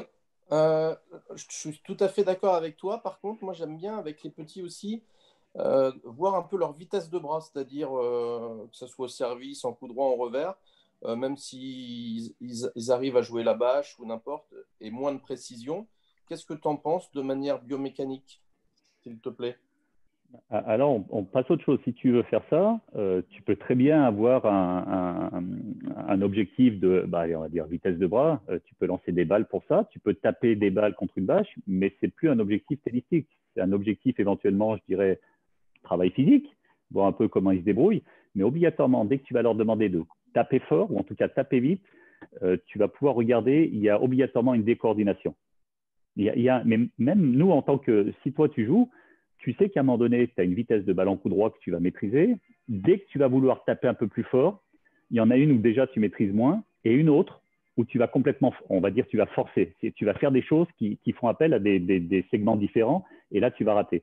Donc, ben, un enfant, à un moment donné, c'est se dire, voilà, on fait, où est ta coordination C'est juste lui faire prendre conscience qu'à un moment donné, s'il veut aller au-dessus de ça, eh ben, voilà, il va se décoordonner. Le problème, c'est qu'avec des ballons en mousse ou des choses comme ça, tu peux garder la balle dans le terrain. Hein. Et je suis pas sûr que ça favorise justement l'histoire de dire, bah, attends, à un moment donné, le terrain de tennis, il a une distance. Donc, je dois taper fort, mais pour la mettre fort dans le terrain, il y a une, notion d'effet. Donc, tout ça, c'est d'abord le contrôler, mais ça n'empêche pas, à un moment donné, de dire, voilà, on essaye. On fait le jeu, ce qu'on appelle, moi, j'appelle ça le jeu des vitesses. Première vitesse, je joue avec grand-père. Deuxième vitesse, je joue avec papa. Troisième vitesse, ça y est, je joue avec mon copain. Quatrième, je joue avec celui qui est plus fort que moi. J'essaye. Et à un moment donné, sur laquelle tu sens que tu es capable de tenir six fois d'affilée. La 1, c'est facile. La 2, ah, la 3, OK. La 4, on sait que tu en as une sur deux qui va être dehors. Et juste faire. Et puis au fur et à mesure des semaines, tu vas voir que quand la coordination est en place, cette vitesse, elle va s'augmenter au fur et à mesure. Toi, c'est ce que je veux dire, c'est pas à un moment donné essayer de faire plus vite que ce qu'on peut faire, c'est tout. Ça viendra tout seul, la vitesse. Je suis, je suis d'accord, tout à fait d'accord avec toi. Non, c'est de temps en temps, mais sur une minute ou deux. Euh, ou comme le lancer, il y a des enfants qui envoient euh, uniquement euh, à 5 mètres 2 et il y a mmh. des enfants qui peuvent déjà envoyer à la bâche. voir de manière biomécanique, qu'est-ce que ça, ça peut engendrer au bah, Cela, tu peux leur faire faire de la volée liftée, parce qu'en plus, c'est bien, c'est un exercice technique. Donc, d'un point de vue pédagogique, c'est pas mal. Maîtriser la volée liftée, et là, ils feront plaisir. Parce que la volée liftée, pour des gars qui ont vraiment une vitesse de bras, mettent un peu d'effet, c'est amusant. voilà, tu tapes ta volée Bah, si tu veux la maîtriser, est-ce que tu es capable de mettre un petit peu plus d'effet? Donc, découverte du lift de façon implicite, sans parler, mais il y a plein de choses à faire. D'accord, merci. pour moi, c'est un objectif différent. Si tu me dis, bah, tu as une ou deux minutes par séance à lâcher, comme au service. Au service, on, va s'amuser à mettre des chiches. On sait très bien que quand il va être en match, ça va pas, mais d'un point de vue nerveux, c'est intéressant de trouver comment la main, à un moment donné, ou le bras peut faire des rotations pour aller un peu plus vite. Ça fait partie de ce, truc-là. C'est exactement ça. C'est sur une heure et demie ou une heure, ou une heure et demie, deux heures même souvent. Euh, pour ma part, euh, c'est euh, une ou deux minutes pour voir un petit peu ce qu'ils ont bah, au de la vitesse de bras. Mais c'est, tu débrides. Mais tu vois, si tu me dirais l'inverse, tu ferais pendant 50 minutes, je, vais mettre des chiches dans tous les sens, après j'essaie de contrôler. Bon, il y a peut-être quelque chose. Mais non, ça au contraire. C'est débrider la machine. C'est allez, paf, on y va, on s'amuse. C'est pas grave. Alors j'ai une question biomécanique à Cyril. voilà. Et donc, si on parle d'excellence et puis de, formation, la formation, c'est pour le futur. Alors là, si on parle vraiment de, de, recherche de performance absolue, euh, j'ai toujours pas la réponse. Entre le, entre le choix, si je, si je retravaille avec des, des tout petits, euh, de savoir si le revers à deux mains ou à une main, pour le futur, lequel des deux serait plus performant en tête, parce que je pense par le seul, le seul repère biomécanique que j'ai, c'est la vitesse de tête de raquette. Voilà, c'est, euh, je, ne sais pas. Bah, il y a avantages et inconvénients. Donc, euh, c'est très compliqué de dire voilà, euh, il y a des avantages. Par contre, je suis persuadé que si on dit que le revers une main, on ne peut pas lutter contre le deux mains quand la balle est au-dessus d'épaule, est-ce que c'est mm. pas parce que quand on l'enseigne dès le plus jeune âge, on se dit bah, tu vas reculer et qu'on n'enseigne pas les prises de balto Si quelqu'un a un œil et que tu apprends les prises de balto très tôt, il n'y a pas de problème pour qu'il puisse se développer. Je crois que c'est toujours pareil, c'est la façon dont on va le mettre. Alors après, pourquoi un individu va choisir le une main? Pourquoi il va choisir le deux mains euh, La plupart du temps, c'est copie du haut niveau. Euh, ça a été enseigné du deux mains tout le temps parce que de toute façon, on ne sait que du deux mains. Et puis maintenant que ben, on s'aperçoit qu'il y a des très bons revers à une main au niveau, je pense qu'il y aura des émulations qui vont se faire chez les garçons. Ben, je vais jouer comme un tel, un tel. Au coach de dire OK, on va aller dans ce sens-là, mais par contre, il y a une certaine maîtrise à avoir, des prises de balto, des choses qui sont à maîtriser. il y, a de tout. Moi, je, préfère honnêtement un, bon revers à une main qui est bien maîtrisé qu'un faux revers à deux mains. C'est un faux revers à deux mains où tu n'engages pas complètement les hanches, tu n'engages pas la main gauche correctement. Ça doit être naturel. Pour moi, un revers à deux mains, c'est où il est naturel, où il n'est pas. Tu peux pas. N'importe qui qui a un revers à une main et qui essaye de démontrer un revers à deux mains, il peut le faire. Mais on sent que ça n'a rien à voir. Donc le deux mains, il doit être très naturel. Ça voilà. Et donc Giovanni, par exemple, qui avait un revers à deux mains, il le faisait, mais avec ses grands échalas, si tu te dis, bon, il y a quelque chose qui n'est pas à une main, ça l'a libéré. Alors on pourra toujours dire, ouais, mais sur le haut niveau, c'est plus dur. Oui, il était capable de prendre la bolto. Après, on verra, on verra. Mais je crois qu'à un moment donné, il faut pas, faut arrêter de se prendre la tête avec ça. Mm. On a souvent copié des modèles. On a dit, bah, euh, les filles, c'est que du revers de main, on ne peut pas jouer une main. Bah, mm. Peut-être, ça dépend. Pourquoi pas? Bah oui, mais tu vois, je dis, je, dis ça parce que là, c'est un partage d'expérience. Moi, j'avais eu Joe euh, Tsonga quand il avait 12 ans, 13 ans, mais sur une tournée, hein, c'est les fameuses tournées euh, fédérales mmh. de l'époque, il avait un revers à une main. Il avait un revers à une main et euh, je ne sais toujours pas pourquoi, parce que ça, ça a été une volonté d'entraîneur de le passer à deux mains. Mmh. Mais à 12 ans, 13 ans, il avait un revers à une main. Et quand on voit ensuite la difficulté qu'il a eu à tenir des joueurs euh, bien plus forts du, fameux top 4 là, qui l'ont qui l'ont bien barré à un moment donné. Et tu te dis, et si? Qu'est-ce qui se serait passé? Et si? Bon, on ne saura jamais, mais voilà. Non, mais c'était bizarre comme démarche de passer d'une main à deux mains. Tu vois, c'était ça le truc. Et ça, ça me hante. l'inverse, l'inverse, c'est plutôt assez courant. Plus fréquent, dire. Ouais, c'est, plus fréquent. Et de passer de une à deux, il faut vraiment que c'était bizarre. Hein. Ouais, c'était bizarre. J'avais une question, il y avait, j'avais vu tout à l'heure une question de Sly. Pareil, c'est un pseudo Oui, ouais, c'est mon prénom, mais ah. en raccourci. Pseudo. ben, en fait, ça va être. Euh, alors, j'avais trois choses à, dire. Euh, je vais rebondir ce que, sur ce que disait M. Cotard là. Euh, moi ma grande question, c'est que quand j'ai fait les formations de Cyril, là, je les ai fait en, continu pendant le confinement parce que je voulais continuer à me former. Et euh, j'ai entraîné des, joueurs qui ont des, euh, cursus de, haut niveau euh, sur, sur, la Ligue du Lyonnais. Et justement, moi, ma, grande. je trouve qu'un des grands problèmes, c'est que justement, quand on forme des joueurs, c'est souvent descendant, c'est-à-dire c'est souvent les, le coach qui va prendre des décisions, le, oui, l'entraîneur qui va prendre des décisions pour le joueur. Et du coup, moi, ma, ma vraie problématique, c'est d'arriver à, amener en fait les connaissances que j'ai que j'ai pu approfondir sur les formations de Cyril, mais de les amener, euh, du moins d'arriver à les faire ressentir aux joueurs en fait.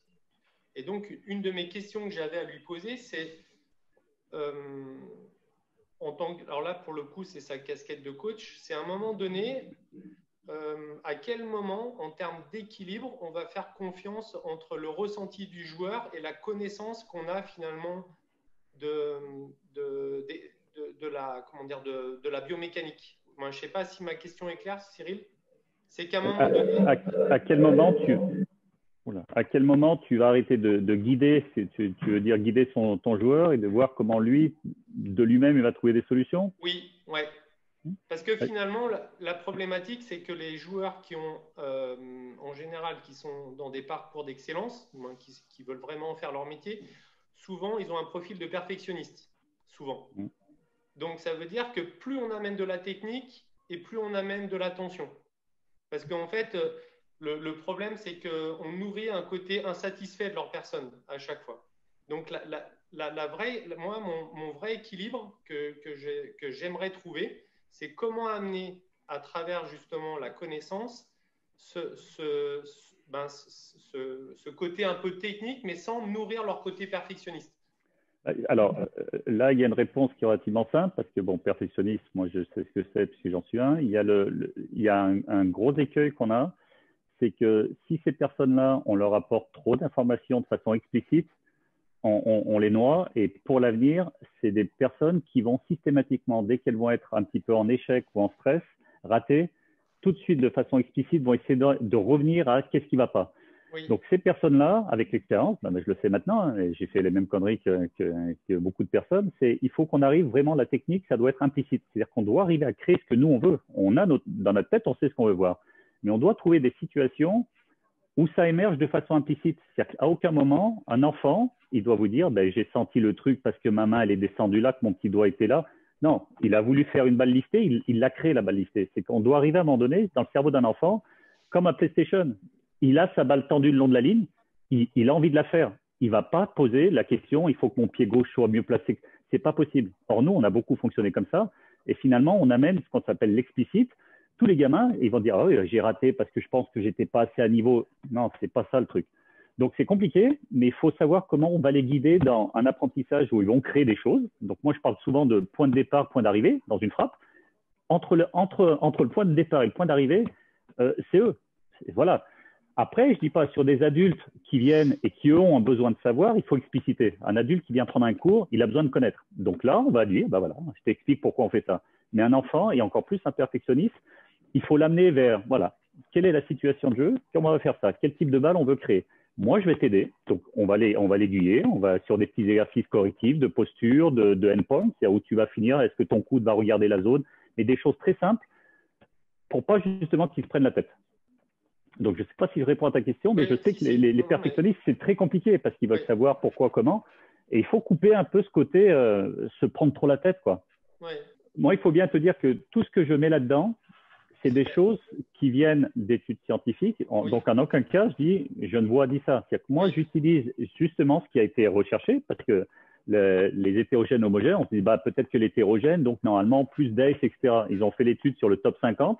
Ils sont aperçus qu'il n'y avait pas plus d'hétérogènes que d'homogènes, voire même plus d'homogènes sur la population, alors qu'un gars, je ne sais pas le nom, a dit, dans le top 100, 70% sont hétérogènes. Bah, là, l'étude statistique a été faite quand même sur les top 5. Il y a autant d'homogènes, voire plus que d'hétérogènes, et qu'il n'y a pas eu de différence sur les ACE ou les pourcentages de réussite, etc., entre les deux. Donc, ce n'est pas un facteur qui peut définir la performance. Donc, ça, il y a une fiche, hein, tu verras, il y a une, une, infographie sur la latéralité de l'œil. Donc, tout, ce que je mets dans mes parcours, moi, j'utilise la science parce qu'à un moment donné, ça a été voilà, prouvé. Et moi, j'essaie de voir comment ça, ça peut avoir un impact sur nos applications de terrain, en disant bah, maintenant qu'on sait ça, euh, est-ce qu'on va changer notre fusil d'épaule? Est-ce que ça cautionne certaines choses? Les Australiens sont très forts là-dessus. Par exemple, bah, quand je suis intervenu là-bas à Metz, j'aurais bien dit, le, travail isolé du lancer de balle, ils ont fait des études là-dessus. Travailler de façon isolée le lancer de balle, c'est une perte de temps. Alors, je ne dis pas quelqu'un qui sait jamais. Non, il y a certainement des choses, nous, à mettre en place sur des repères, plutôt que d'avoir un cerceau au sol qui sert à rien et qui est toujours mal positionné, où on jette la balle et on regarde ça tombe. Il y a peut-être des choses à mettre en l'air, déjà pour. Voilà, c'est toutes ces choses-là. Donc, eux, ils ont simplement fait, voilà, tout ce qui est fait au travers du monde, cette fameuse raquette qui est à droite, on lance de façon isolée. Ils sont aperçus que le lancer allait 40 cm plus haut, était toujours sur la droite par rapport à la vraie frappe. De même que quand tu fais un shadow, c'est-à-dire que tu fais ton service en faisant comme si tu lançais la balle et que tu essayes de taper le plus vite possible, les cinétiques ne sont pas les mêmes. Donc, toutes ces études-là, c'est juste à un moment donné pour dire, bon, il y a des mythes, on fait ça depuis des générations, bah, peut-être qu'on va gagner du temps, en évitant certaines choses qui ne servent à rien, et trouver peut-être quelque chose qui nous apportera un petit peu plus de, réussite. Donc, c'est en ça que la science est intéressante. Elle est là pour, euh, je l'avais dit à ma thèse à Miguel, c'est qu'on a des croyances en tant que coach, on, a des choses qu'on sent. Bah, la science, elle est là ou pour nous confirmer ça, en disant, bah oui, vous avez raison, ou des fois, malheureusement, pour bah, dire, ouais, on sent les choses, mais c'est pas ça qui passe, qui se passe, quoi. Donc, c'est tout. Et tu me verras jamais dans mes, par exemple, les préférences motrices. Pour le moment, je peux pas en parler dedans parce que je n'ai pas un recul suffisamment important avec des études qui permettent de dire attention, voilà, peut-être que ça, ça peut être un éclairage. Le jour où je l'ai, et c'est l'intérêt des parcours, c'est que c'est, je les mets à jour tout le temps. Hein. Là, je vais rajouter des vidéos, je vais rajouter une étude qui est sortie d'Australie qui est très bien. Dans deux ans, ça se trouve, je vais peut-être supprimer certaines choses qui vont dire bah, peut-être maintenant elles n'ont plus d'intérêt parce que ça sera autre chose. Donc, toi, c'est cet aspect un petit peu de dire, bon, euh, j'invente rien, hein. je, prends des expériences de terrain, je prends des expériences de science, et j'essaye de faire un melting pot qui fasse que voilà, le coach puisse faire des choses pratiques sur le terrain, mais qu'il les comprenne. Parce que là aussi, j'ai eu beaucoup de demandes, pourquoi tu n'as pas des exercices d'exercice Si l'exercice, c'est bien, encore une fois, c'est la façon dont tu vas le diriger, l'exercice. Moi, je n'ai pas des tonnes d'exercices. J'en ai un ou deux qui fonctionnent très bien, mais celui-là, il sera jamais, je ne vais pas le faire de la même façon avec tout le monde et avec les niveaux, etc. Donc, il faut d'abord comprendre le concept derrière, pourquoi tu as, envie tu as besoin de ça? Et pourquoi cet exercice, il est important dans ce secteur-là? Et regarde bien comment on fait. Je prends l'exercice du cloche-pied, j'en ai vu faire euh, dans toute la France sur des vidéos qui sont, mais qui ne servent à rien. C'est-à-dire qu'ils ne servent, il vaut mieux pas le faire. Donc, quand on a compris pourquoi, moi, je fais travailler des fois sur on s'apercevra que le transfert, le pied arrière se lève que lorsqu'il y a l'impact. Inversement, il y a des choses, il faut maîtriser le sujet et comprendre pourquoi on le fait pour que ça soit intéressant. Donc, ce qu'on dit, hein, ce n'est pas l'exercice en lui-même qui est intéressant, c'est la façon dont tu vas le conduire. Et ça, on a un gros souci là-dessus, nous, en France. Ouais, mais je pense que justement, les formations, moi, je me suis dit que bah, je suis de Lyon, mais je pense que, tu vois, j'ai vu les vidéos et tout ça, et ce qui m'a donné envie, c'est, ben, j'espère que tu pourras faire des formations sur Lyon, parce que c'est d'associer l'aspect visuel à, l'aspect fonctionnel sur le, sur le mhm. terrain, et je pense que ça ne peut pas remplacer, même une formation visuelle ne pourra jamais remplacer du, euh, du ben, présentiel. La, présence. Ouais. Mais ça, c'est ce qu'on fait, tu vois, avec, euh, avec l'île de France, avec les DES. Ils ont donc maintenant une partie e-learning. Et c'est intéressant parce que les parcours la nouvelle promo, j'y suis allé la semaine dernière, ils n'avaient pas encore ouvert tous les parcours. Or, il y a eu des questions et j'ai demandé aux responsables, j'ai dit, tu vas tous les ouvrir, leurs parcours. Je veux qu'ils s'enrichissent pour que la prochaine fois où je viens, par exemple, sur le thème du service, il l'ait déjà fait et que tout de suite, le questionnement, il sera différent. Plutôt que d'arriver, de découvrir, on perd du temps. Donc, ils s'immergent dedans. Et je sais qu'en amont, il y aura eu des questions certainement sur la plateforme. Mais quand je vais arriver, on sera sur le terrain directement et on va traiter le problème pratique. Mais ils mm. auront eu déjà les notions. C'est-à-dire quand on va leur dire que le lancer, c'est sur la gauche du pied avant, parce qu'on a un référentiel qui est le pied avant et pas forcément les têtes ou les choses comme ça, c'est quelque chose, ils vont pas le découvrir. Là, quand j'étais à Metz, ils découvraient quelque chose. Donc, le temps de découvrir, le temps de se dire, mince, oulala, c'est on perd du temps dans le, dans, même si on était sur le terrain après et qu'on voit que ça marche, je pense que c'est une perte de temps. Donc, en amont, il faut avoir l'information. Et puis après, il faut tout de suite aller sur le terrain pour la mettre en place, ça c'est sûr. Mmh. En tout cas, je, tenais à te remercier, voilà, tout simplement. Ah bah, c'est gentil. Merci, merci pour l'intervention, en tout cas aussi, euh, de pouvoir avoir pu partager ça. Euh, j'ai réussi à récupérer la, la, question et après, on va finir cette question-là euh, de Schulman, du coup. Est-ce que le coude est important dans l'organisation par exemple un coup droit comme SOC, Kyrios ou un autre coup. C'est global, mais est-ce que. Oui, il peut toujours poser. Non, non, c'est toujours pareil, c'est des variations individuelles. Les, premiers coudes un peu levés, il y avait déjà Lendl, Sampras, on s'était posé la question. Donc, à l'époque, ça, ça, choquait parce que c'était les premiers à faire ça. Et il y avait une étude qui avait été faite sur la préparation classique autour de l'épaule, faire un rond autour de l'épaule, ou par rapport au coude. On s'est aperçu qu'à partir du coude, il y a plus de, de segments libres et plus de vitesse à l'impact. Donc, ça, c'est une chose. Maintenant, qu'il soit en haut, qu'il soit là, moi, ce qui m'importe, c'est la phase de transition. Comment ta raquette arrive au début de la phase de transition? Le reste, c'est purement du style, hein, donc c'est pas autre chose. Alors, après, il y a des limites, ce qu'on appelle des, fenêtres de si on n'arrive pas dans la zone de transition correctement à cause d'un coup de trop ou n'importe quoi, là, on va le corriger. Mais encore une fois, ces choses-là, ça n'a rien à voir avec le. Justement, ce n'est pas des principes biomécaniques, c'est du style, ça, le coude. Alors, certains vont tirer un peu plus, d'autres vont le mettre un peu plus sur le côté et le descendre après, d'autres vont passer la main au-dessus du coude. Il y a toutes les formes possibles. Mais le moment important, c'est quand on va décider d'aller, quand on va commencer la chaîne cinétique, comment est positionnée ma raquette? Est-ce qu'elle l'est déjà depuis deux secondes et que ça ne bouge pas qu'il y a un problème? Est-ce qu'elle est en retard? Est-ce qu'elle est en avance? Ça, c'est intéressant. Quand on va lancer l'action, que c'est intéressant. Tout ce qui se passe avant, individuel. Oui, ben, un, témoignage d'une personne qui est quand même, euh, c'est un peu à part dans le métier, qui était qui est passionné de tennis, mais surtout qui a passé le DE sur le tard. Donc, euh, je vais laisser la parole à Raphaël Nucci, qui, qui, a raconté son expérience, et puis éventuellement, voilà, bon, qui parle un peu de, ce que j'ai pu lui apporter sur, sur les formations ou en dehors. Mais c'est vraiment, voilà, c'est le genre de personne que j'aime bien parce qu'il est vraiment arrivé dans l'enseignement par la passion. C'est pas, ça n'a pas été, bon, c'est la passion qui l'a fait choisir l'enseignement, il s'est posé la question.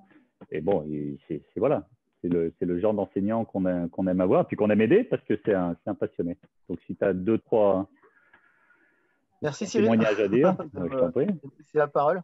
En tout cas, euh, en tout cas, en tout cas ton, ton degré d'expertise me, me, permet de, m'enrichir à chaque fois qu'on se rencontre et c'est très bien pour moi et pour les gens euh, que je dois aider et que tu aides aussi par ton intermédiaire. En tout cas, c'est très bien. Euh, j'ai bien aimé euh, cette soirée-là, entre, euh, euh, autres avec Cotard et, toi, Cyril. c'est hyper enrichissant pour tout le monde, pour nous. Alors maintenant, effectivement, l'intervention que tu, que me permets de faire, il faut faire une différence entre la, formation que nous, on a en tant que DE et la formation que moi, je peux avoir avec toi. Parce que, je suis tout le temps en train de me former à ton contact, ce qui est très bien c'est vrai que c'est quelqu'un de très disponible et, qui me permet de, tout de suite être actif avec, avec les problèmes que j'ai avec mes joueurs, ce qui est très bien. En tout cas, sur la formation DE, le problème qu'on rencontre tous, c'est surtout, comme on, comme on l'a dit, c'est de laisser ses croyances de côté. C'est-à-dire qu'on va avoir une, formation qui est, qui est plutôt généraliste.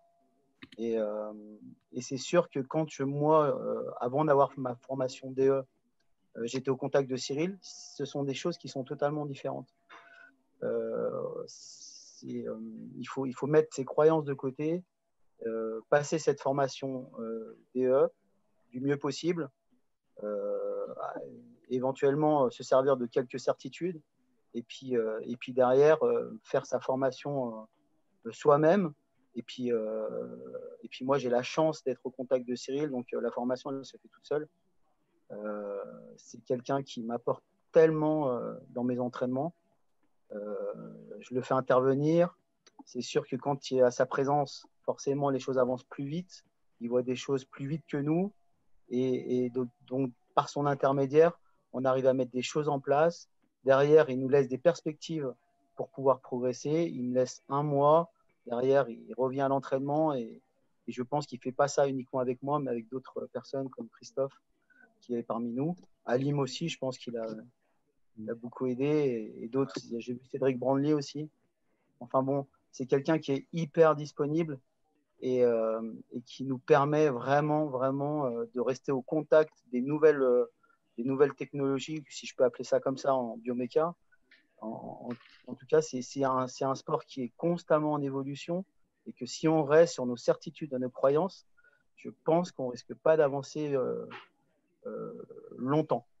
En tout cas, il faut tout le temps se remettre en question et être au contact de personnes comme Cyril qui nous permet aussi d'évoluer euh, à vitesse grand V. En tout cas, voilà, je le remercie pour, pour tout parce que, et je le remercierai jamais assez parce que si je suis dans ce métier, c'est aussi grâce à lui. En tout cas, je suis tellement content de le connaître. Vous pouvez même pas savoir. Tu as fait le bon choix. Il y a beaucoup de questions à se poser maintenant. En tout cas, voilà. Ah merci. Merci, Cyril. Merci pour ton témoignage. Christophe, tu es encore dans, dans le coin? Tu as te dire deux, trois trucs? Le grand technicien, c'est sur Facebook, celui qui, je ne pense pas que vous ne puissiez pas le connaître, c'est pas possible. Il nous envoie plein de choses et plein de commentaires tous les jours sur, sur sa philosophie de haut niveau. Donc, c'est quelqu'un que j'apprécie énormément. Ça fait longtemps qu'on se connaît. On ne s'était pas côtoyé réellement, mais ça faisait longtemps qu'on était un petit peu sur le. Donc, si toi, Christophe, tu as des choses à, rajouter. Très, riche, très riche contenu de Christophe tous les jours, Pascal. Ah oui, oui. Ah, terrible. Moi, je me régale. y aller, oui. vous, m'entendez? Moi, je... bonsoir à tous. Oui, j'ai écouté attentivement tout ce qui a été dit. Toujours très intéressant.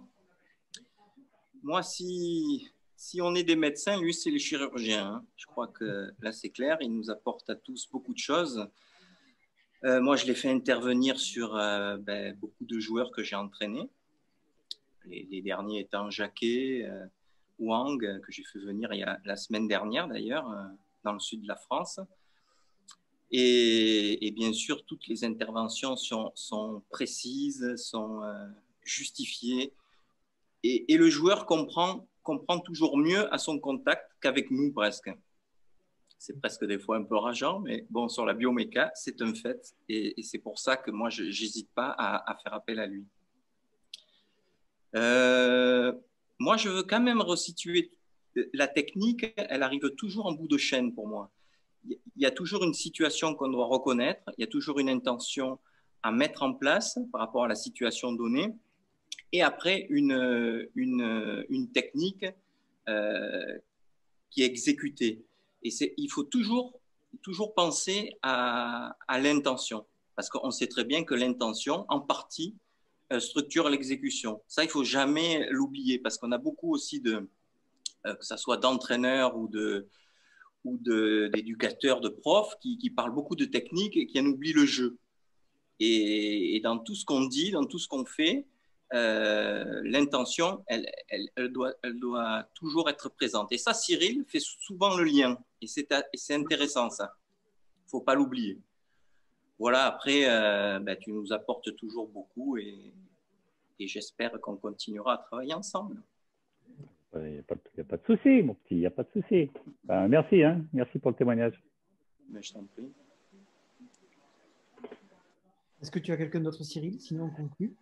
Oh, j'ai plein, j'ai plein de personnes. J'ai Philippe, on s'est croisé, euh, si tu veux dire deux mots, Philippe, à Metz, la journée que tu as vécue. Tu n'as pas fait de cauchemar la nuit ou... C'est l'équipe technique de là-bas et je pense qu'ils ont pris un doliprane le soir.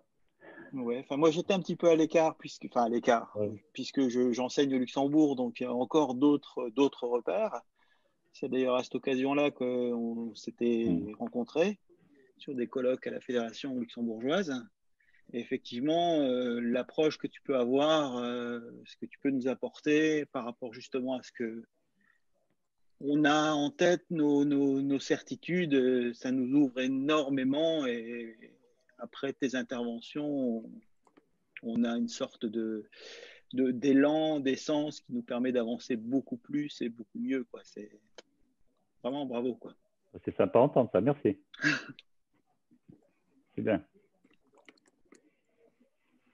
Cyril, c'est bien quand je te fais venir sur un live biomécanique, on parle un tiers biomécanique et le reste du ah pas du tout. Mais alors, mais alors c'est bien parce que pendant le replay, je vais, je vais, je vais. Par contre, du coup, vous m'avez foutu du travail pendant 10 jours. Il va falloir tout que je découpe et que je mette par thème. Mais bon, je suis passionné comme vous tous, donc je pense que je ferai. On va répondre à Brice qui a la main levée depuis 10 jours de Guadeloupe. Ah. qu'il fait beau. ouais, euh, je voudrais en fait euh, faire juste un constat en fait par rapport à ce euh, dichotomie à deux mains, une main. Et en fait, si j'ai bien vu, hein, j'ai regardé un petit peu les coups de fond de cours.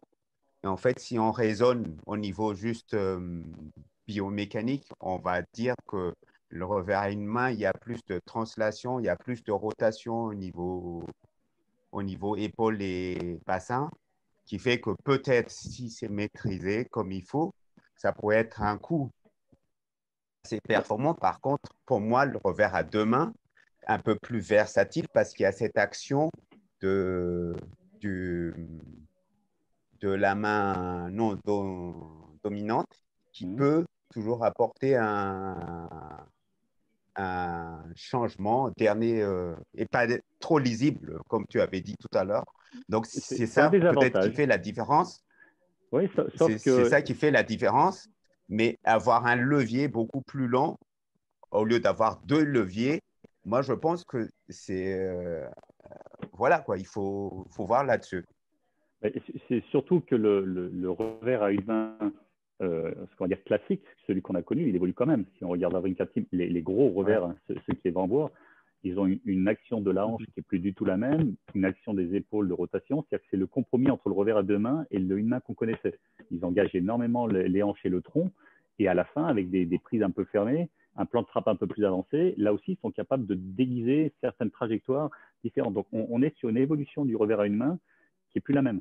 Donc là aussi, hein, le revers à une main, on va dire qu'il est devenu plus physique et ce qu'ils sont en train d'envoyer en zone ou même en, puissance de, et de la rotation de balle n'a rien à voir avec les revers euh, qu'on a connus nous à une main. Hein. Même Federer sur son revers, il va prendre la balle tôt, il n'est pas capable d'avoir autant et de faire tourner autant qu'un Mavrika au Donc c'est L'allonge aussi d'un revers humain sur... la défense, c'est pas mal aussi. Donc, tu vois, tu auras de toute façon toujours des pour et des contre. Donc, c'est pour ça que l'individu, il doit, à un moment donné, il doit le ressentir, le truc. Hein. Mhm. Puis, en fait, sur ce que tu as donné, j'ai vu sur une de tes vidéos où quand tu donnes la formation sur l'initiation sur le revers à une main, où on reste plus bloqué euh, dans l'axe, mais on libère la, euh, jambes euh, et tout ça. Moi, mmh. j'ai essayé avec euh, quelqu'un qui débutait à une main. Et euh, voilà, pour elle, c'était vraiment le jour et la nuit. Donc, ah ouais. Donc, c'est, moi, je trouve que, après, c'est vraiment, en fait, pour nous, en tant qu'enseignants, le verre à deux mains, c'est le confort. ah oui. facile. Mais c'est facile. Mais, mais voilà. Je, je dis. Je pense que le, le, le, joueur, ou même l'adulte, le joueur de club, ce que je dis souvent, c'est il faut voir aussi les deux. C'est-à-dire que bon, il y a le haut niveau, mais le joueur de club qui commence, ou l'adulte, le revers à deux mains, il est plus pathologique sur le dos, Hein, par rapport. Le une main, il sera plus pathologique sur le coude avec les tennis elbow, mais si on arrive à tenir mhm. sa raquette correctement et que techniquement on n'est pas trop mauvais, on, l'a plus tennis elbow. Mais le dos, euh, c'est compliqué. Hein, quand on est un adulte et qu'on joue à deux mains, si on commence comme ça, on a des rotations hanches-épaules, on est bloqué. Je suis pas sûr que ce soit le meilleur des, revers. Ah. Maintenant, oui, comme tu dis, hein, tu as de la force. Moi, je, ne sais, pas, sais pas si tu es d'accord, mais moi, ouais, pour, le revers à deux mains, en fait, je, fais débuter les gens en appui ouvert pour justement éviter toutes ces rotations. après, le problème de l'appui ouvert en revers à deux mains, c'est un gros problème d'équilibre. Ah bah oui, mais trouver un, c'est dur de s'équilibrer avec deux mains sur la raquette. C'est aussi un des, pour ça qu'on n'en voit pas beaucoup au niveau des revers à deux mains en appui ouvert, alors qu'on peut le faire une. Et puis surtout, euh, aller pousser devant quand on a un appui ouvert, c'est pas facile à trouver. Hein. Mais bon, c'est carré, ça peut être une bonne solution, hein. mais c'est pas évident. Ouais. Bah, en gros, je ne me soucie pas des, appuis. Pour commencer, c'est trouver le plan de frappe et voilà, pouvoir sans comprendre que pour envoyer, il faut trouver la balle devant. Bah oui, c'est vrai. Comme pour tout. Aussi le rôle de la main libre pour tous les coups du tennis. Alors, euh, merci Brice pour, le retour. Hein, Ok. Euh, quelle importance Donc Yann qui dit, si tu veux prendre le micro, Yann, ou si tu peux prendre le micro, c'est que mieux. Hein euh, tu nous dis, non? Alors quelle importance euh, donne Cyril au rôle de la main libre pour tous les coups du tennis? Moi, je lui donne 50% d'efficacité du coup. Le, fameux rôle de la main libre. Ouais, moi, je, bonjour à tous. Euh, je vais intervenir parce que moi, je suis jeune DE aussi. J'ai appris sur le tard. J'ai 42 ans, bientôt 43. Et du coup, euh, je joue au tennis depuis que je suis tout petit. J'avais un verre à deux mains quand j'étais tout petit. Je l'ai appris à deux mains et puis après, je suis passé à un verre à une main. Et euh, je me suis rendu compte qu'en fait, que les joueurs n'utilisaient pas assez leur, leur main libre pour faire la préparation en coup droit ou même en revers quand ils utilisaient leurs mains libres, en général, ils utilisent que leur, que leur bras droit quand ils sont droitiers. Ils n'utilisent pas assez la main libre pour faire leur coup, pour préparer leur coup. Et en général, ils font des préparations trop hautes. Quand vous parlez de, de l'efficacité du revers à deux mains ou du revers à une main, euh, moi, je trouve que moi, j'ai un revers à une main. Et euh, le sens de rotation, euh, le côté préférentiel de rotation, j'ai trouvé ça super intéressant parce que moi aussi, je suis un petit peu sur les préférences motrices. J'essaie de regarder un petit peu tout ça. Et euh, c'est vrai qu'on a un côté où on préfère tourner. Et, moi, mon, coup fort, c'est le, revers. Mais euh, je me suis rendu compte que si je préparais trop haut, il y a des préparations comme Vavrinka, tout ça, où ça, prépare assez haut, et, euh, ou Federer, où ça prépare un peu plus bas. Et je me suis rendu compte qu'en enseignant à mes, à mes joueurs, en fait, si je leur demandais de préparer au niveau de la hanche, tout ce qui se trouvait au niveau de la hanche, en fait, bah, c'était carrément plus simple pour eux et euh, ça donnait plus d'inertie au cou et plus d'efficacité. De, plus Donc voilà, je voulais, je voulais avoir ton ressenti là-dessus. Euh, euh, alors, le, cette main gauche en revers, mais bon, en coup droit, elle, nous sert à orienter. On, a souvent, on l'utilise mal. Donc, ou on l'aide pour tirer la raquette, et donc dans ce cas-là, c'est pas bon. Parce que, que ce soit revers ou coup droit, euh, tu as les deux mains, c'est qu'une orientation. la, raquette en revers, elle va derrière d'abord par l'orientation des épaules et ensuite tu as un travail éventuellement d'éloignement, ce qui est rarement le cas. Nous, la plupart du temps, c'est que les, joueurs utilisent la main pour tirer la raquette derrière. Et même en coup droit, ils vont tirer. Cette main-là, dans ce cas-là, elle devient contre-productive. une fois que tu es tourné, ta main gauche, ou en tout cas en revers, elle va t'aider à guider dans l'espace un petit peu plus haut, un peu plus bas. Et après, bah, entre Vavrinka et Federer, c'est des styles différents. Mais à partir du moment où tu vas augmenter ta, ton amplitude là-haut, tu auras certainement un chemin de lancement plus intéressant. Donc ça, c'est à rechercher, mais c'est à rechercher que si tu maîtrises. Si en partant du haut, ça te fait faire une boucle et que ça te fait partir en arrière parce que tu ne maîtrises pas, bah, peut-être qu'il va falloir faire des trajets d'abord plus simples. Une fois que le plus simple est mis en place, c'est aller chercher comment je peux utiliser un peu plus de boucles dans ce revers, comment je peux engager un peu plus mes hanches, et ainsi de suite. C'est toujours pareil, il n'y a pas c'est bien ou c'est pas bien. Euh, si tu es capable d'avoir cette amplitude comme fait Varenka, c'est excellent. Mais celui qui va essayer tout de suite d'avoir ça, à mon avis, il y aura beaucoup de problèmes déjà d'équilibre parce que le bras va partir et la réaction, c'est ton corps va partir derrière. Donc avant de maîtriser ça, un, gamin qui commence en revers une main, pour moi, il part directement de l'anche. C'est d'abord le contact balle-raquette devant, c'est le trajet qui est plus. Et puis au fur et à mesure, naturellement, tu vas recommencer à ressortir plus d'épaules pour tourner un peu plus. Et puis après, naturellement, le trajet du bras, il va vouloir s'enrouler un peu plus, un peu plus. Ça va se trouver. Ce que j'appelle la liane, la fameuse liane, c'est qu'à un moment donné, c'est ton coude qui part en premier, ça rattrape. Mais tout ça, c'est au fur et à mesure. Tu as fait la chose simple. Et quand la chose simple est maîtrisée, il y a des éléments qui vont se rajouter qui vont apporter de la vitesse. Mais de vouloir tout de suite copier, par exemple, le modèle de Vavrinka quand tu démarres, je pense que c'est un peu compliqué. Pour pas dire impossible. C'est pas, pas, pas, tout à fait le copier, mais moi, je me suis rendu compte que quand tu prépares par le haut, ben, forcément, tu as moins de force. Et quand tu as une balle qui arrive à hauteur d'épaule, ben, oui, tu as, moins de force. Alors que tout à l'heure, ton commentaire était intéressant parce que moi, j'utilise aussi beaucoup la demi-volée. Hmm. Et en revers, et moi, je, enfin, sur votre, sur votre, euh, sur votre discours, euh, enfin, sur, euh, c'est pas un discours, c'est. prise de balto? Sur la prise de balto, ben moi, je trouve que le revers à une main, pour moi, hein, pour moi, c'est plus l'avenir. Pour celui qui a une, une préférence à laisser partir le bras et avoir peut-être son sens d'orientation, enfin, il y a peut-être peut plusieurs éléments qui font que, voilà. Euh, mais, euh, mais je pense que le, à une main n'a rien à envier au revers à deux mains. Euh, sauf Ah oui, non, mais c'est, c'est sûr. C'est, il y aura des très bons revers à une main qui seront meilleurs que certains mauvais revers à deux mains. Mais ah ça jouera plus tôt en plus.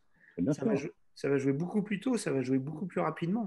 Et quand on sait qu'il faut gagner du temps pour, sur l'adversaire, gagner du temps et du terrain, bah, je pense que c'est des coups la demi-volée, voilà, c'est aussi l'avenir. Il faut la maîtriser très jeune. C'est pour ça qu'il ne faut, pas perdre de temps. On en revenait à, notre discours sur les terrains. Ça, c'est des choses que tu peux mettre en place très facilement sur les terrains adaptés, avec des raquettes adaptées.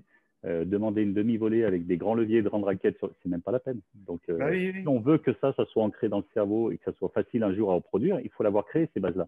Et ça peut être que sur des, des, jeux courts près du filet avec des situations qui permettent de le faire. Ça, c'est sûr. Après, euh, dans ce qui est biomécanique, moi, je, regarde aussi un peu donc, les préférences motrices et la dissociation du haut et du bas. Et je me rends compte quand même qu'il y a des élèves qui, où tu peux leur demander un revers à une main, mais qui fonctionnent par les hanches et pas par les épaules. Alors, quand tu me, quand tu me dis qu'il euh, faut tourner les épaules d'abord, ben, on se rend compte que. ça part, pas les épaules, mais toi, en partant par les épaules, si tu es associé, tes hanches vont tourner en même temps. Ce que je veux dire, c'est que ce n'est pas les bras qui font une action. Parce que souvent, euh, on tire, on tire en coup droit, on tire le bras. Ce qui fait que la raquette va aller derrière. De partir des épaules ou d'orienter de, les épaules, je leur, demande d'orienter le, le, bassin et, d'y associer la main gauche avec le bassin. Et, et ça quand, pour des joueurs associés, et ça, ça va deux fois plus vite. On, on, appelle ça, le, en anglais, c'est le unit turn, qui à se dire à un moment donné, ce qui va amener ma raquette derrière, c'est le fait que mon corps s'oriente et non pas un mouvement séparé du bras. Ce qui est souvent le cas chez les débutants, c'est qu'ils vont tirer le bras droit d'ailleurs après essayer de se tourner ou tirer d'abord la raquette, la mettre contre le corps et se tourner. C'est simplement se dire j'engage mon mouvement par mon corps en entier et ma raquette, elle va être placée. Donc si tu regardes le, très haut niveau, un c'est il tourne et sa raquette, elle n'a pas bougé au, niveau de son corps. Elle est mise en arrière là et après il va aller chercher un tout petit chouïa de plus derrière. Mais c'est d'abord l'orientation du corps qui amène la raquette. Alors nous, les débutants, c'est le premier défaut, c'est ils vont tirer, voilà, ils vont essayer de tirer cette main, l'amener vers l'arrière. Voilà. Donc c'est juste ça ce que je veux dire, c'est qu'à un moment donné, alors après tu le fais par le haut, tu le fais par les hanches, tu trouves le truc qui va correspondre. Mais c'est d'abord avoir ce, ce mouvement-là, euh, se dire que ma raquette en coup droit, ma raquette va se placer sur le côté, pas parce que c'est ma main qui le tire, mes épaules se tournent. Donc si je suis part de cette position-là, si je tourne, elle devient sur le côté.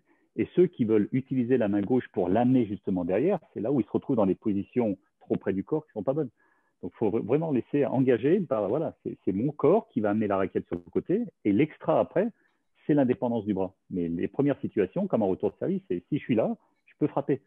Si j'ai pris l'habitude de d'abord tirer mon bras, je ne peux pas le faire. Donc, c'est juste des, des, petites choses. C'est pour ça que je disais que c'était 50% du, du coup. Quoi.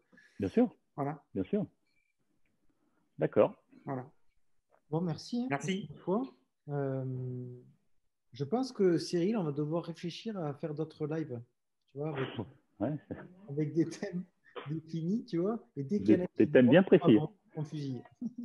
non, mais c'était super riche, c'est super bien. On est entre passionnés, c'est normal. ça parte. Et, bah, écoute, c'est quoi 99 plus, de conversation?